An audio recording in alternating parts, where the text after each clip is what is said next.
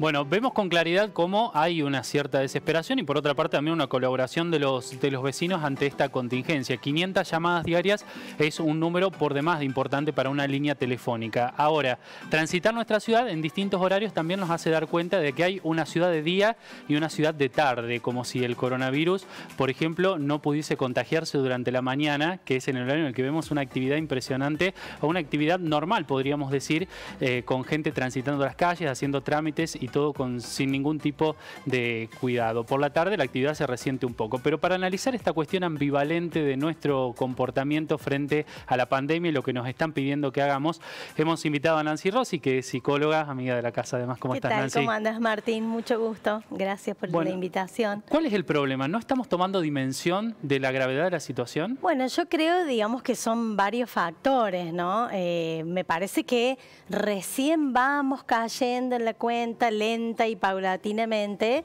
de que estamos frente a una pandemia. Yo le decía a mis hijos que en mis 49 años no recuerdo una situación similar, ni siquiera con la gripe A o con la gripe aviar, porque parecía como que el mundo todavía quedaba un poquito lejos, ¿no? Que había algunas cosas que podían no afectarnos.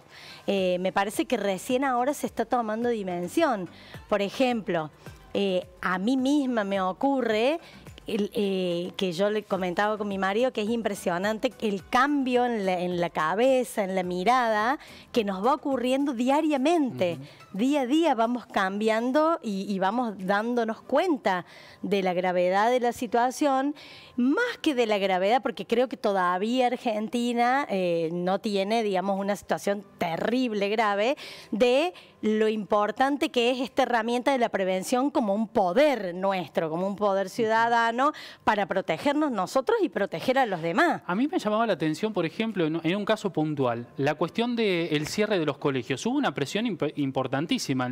Gran parte de la sociedad, el 80% de la sociedad, pedíamos que se cerraran los colegios para proteger a los niños y evitar los contagios. Fue un fin de semana de locos esperando esa resolución por parte del gobierno, pero después veíamos en las tardes de esta semana que los papás iban a los parques, iban al andino, al centro cívico a tomar mate y a sacar los chicos a pasear, como si en esa situación no hubiese un riesgo para ellos. Claro, o sea, eh, por ahí porque también en, primera medida se hablaba de el hacinamiento de mucha cantidad de gente como algo riesgoso y a lo mejor la gente ha dicho, bueno, me voy a la plaza, no estoy tan cerca uno de otro y está todo bien, ¿no? Eh, esto que te digo, bueno, eh, hay, yo he, notado, he observado posturas eh, diversas, verdaderamente, ¿no? Eh, yo hoy particularmente tuve que ir al centro a hacer un trámite bancario. me pareció muy bien la atención del banco porque iban haciendo entrar de a poco a la gente, había una atención mesurada y de alguna manera coherente con todas estas normas o sea, ocupándose de la situación, mm, para mi punto de vista, de una manera correcta. Eh, mi nuera tuvo que ir ayer a hacer un trámite que era personal también al banco. En un momento, bueno, no sabía cómo hacerlo, entonces tocó a la, chica que suele estar ahí para, para, para asistir. para asistir. Bueno, le, le, hizo así en la espalda y la chica entró en pánico y le dijo, no me toques, no me toques. Bueno, fue una reacción así como muy desmedida. En un momento mi nuera hizo esto en el codo y la gente empezó a vociferar. ¿Y qué hace acá? ¿Por qué no se va? ¿Por qué, por qué no se quedó en su casa? O sea, ya faltó que la lincharan. O sea, entonces, bueno, uno ve esta cuestión. Por un lado, gente que se mueve como con cierta normalidad, no pasa nada, llevo a los chicos a la plaza, al parque. Hoy yo veía madres con sus hijos paseando con todo el aspecto de estar paseando. Mucha gente adulta, adultos mayores, mayores de 60 años, mucha gente en las calles, como vos decís, por ahí más a la mañana que a la tarde. Entonces, por ahí el punto es que es lo que vos me preguntabas hoy por teléfono. Bueno, ¿qué nos pasa? ¿Qué, qué se nos está pasando por la cabeza? ¿Cuáles son las posturas? En primera medida te puedo decir que el temor esto de tener miedo, ¿sí? O una cierta dosis de ansiedad, está bueno, porque de alguna manera es lo que nos hace ponernos en cautela, ¿sí? Estamos ante una emergencia y bueno, nos defendemos de esa emergencia, tomamos alguna precaución.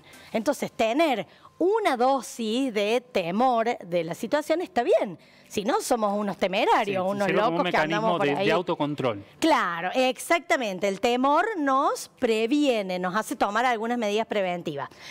Por el otro lado y en el otro extremo tendríamos ¿no? la, la histeria colectiva o el ataque de pánico, esta situación que lleva al desborde y que no actúa, o sea, no, no mm, suma para nada en la cuestión preventiva, sino que al contrario, me parece que obstaculiza más las situaciones y nos hace ver siempre en el otro un enemigo, cuando lo que tenemos que ver en el otro es una persona de la que nos tenemos que cuidar preventivamente y a quien tenemos que cuidar también. la cuestión es que si tuviésemos una cuota eh, razonable de, temor, sin entrar en el pánico, no serían necesarias medidas drásticas como las que evalúa el gobierno, ¿no? De cerrar, blindar el país. Absolutamente, pero vos sabés que eh, con la gente que, bueno, yo he ido hablando, dicen, bueno, y así somos los argentinos, mira vos, nosotros, yo estoy hablando con mi hijo, mi hijo está en Andorra. Andorra es un principado que está entre medio de España y Francia. Están en cuarentena obligatoria ellos ya. Y, mi hijo me decía, mira, mamá, ¿podés creer que nosotros estamos en casa? Eh, si salís a la calle, la policía te para y te pregunta para qué saliste, qué vas a hacer. Tampoco hace muchos días, ¿eh? hace bastante poco. Pero dice, aún así hay gente que sale y anda dando vueltas. Y te estoy hablando de Europa. O sea, de hecho, esta situación en España y en Francia llegó a donde llegó porque la gente no se tomó en serio las medidas preventivas. Entonces, verdaderamente por ahí duele decirlo, pero en algún aspecto somos hijos del rigor. Parece ser que necesitamos una normativa, una bajada a nivel institucional, a nivel gubernamental, para decir, no nos tenemos que mover de nuestra casa. Y si así tiene que ser, que sea. Porque verdaderamente podemos llegar a prevenir una situación como la que está viviendo Italia, que es caótica. Bueno, el mundo nos está avisando desde hace tiempo, ¿no? Eh, desde enero, en que comenzamos a conocer esas noticias de la lejana China que hablaban de, un virus que empezaba a pasar fronteras y todos lo fueron subestimando. Lo subestimaron el resto de los países de Asia, lo subestimaron los países de Europa y ahora Sudamérica parece haber recalculado en sus definiciones, pero los ciudadanos no lo hacemos así, no, no vemos esa advertencia. Sí, lo paradójico es que eh, si en, el caso del, gobierno nacional, ¿no? Como, como supremo por encima de, los gobiernos provinciales y municipales, si no se hubieran tomado las medidas que se tomaron, mucha gente estaría diciendo, qué barbaridad, no toman medidas, no hacen nada. Cuando se toman medidas, la gente eh, tiene una, una, actuación muy reactiva, ¿no? No sé si vos viste, deben haber pasado también ustedes eh, en el avión que traía repatriado el, modo, el insulto y todo, porque les hacían llenar el formulario, o esto que pasó en este country donde un hombre le pegó al guardia que le decía usted no puede salir porque ha venido de viaje. ¿No? Entonces, bueno, me parece que la, la actitud es tener cuidado, ¿sí? Una cierta dosis de ansiedad nos va a ocurrir, querramos o no querramos, porque tenemos que estar alertas, vamos a estar alertas, así debemos estar, sin llegar justamente a las reacciones histéricas, ¿no? Donde estamos todos peleando en contra de todos, al contrario, me parece que justamente es entre todos que podemos nosotros atacar de raíz esta problemática tan severa. Sí, bueno, y párrafo aparte y quedará para otro análisis, pero es eh, la postura de aquellos que no entendieron nada y que en plan de vacaciones están ahora esperando que les abran las puertas de los municipios turísticos. No, no, eso, eso verdaderamente es terrible, es una falta de respeto absoluta para uno mismo, pero bueno, si se quieren faltar el respeto ellos mismos, allá ellos, pero para con los otros tenemos que comprender. Y brevemente un consejito, un paciente me decía, ¿cómo hago para pasar estos días metido en mi casa sin arrancarnos los pelos entre todos, la familia? Bueno, también leyendo por ahí blogs de algunos psicólogos conocidos y todo, por ahí la sugerencia es aprovechar este tiempo, capitalizarlo, hacer la limpieza del cuartito del desastre que todos tenemos, ponernos a ordenar papeles, hacer, bueno, juegos en familia, eh, situaciones de aprendizaje que pueden ser virtuales, intentar capitalizar este tiempo y lo que sí creo que todos estamos esperando, que recién los escuchaba, son algunas medidas como para que los cuentapropistas eh, tengan algunas exenciones o, algunos plazos para poder cumplir con sus obligaciones tributarias. La, preocupación por lo que viene también es, sí, sí, es, es dramático. Es muy mal momento nos viene a agarrar esto. Afortunadamente volvimos a tener un Ministerio de Salud, porque si no, no sé qué sería de nosotros, ¿no? Para verlo, contrafáctico, ¿no?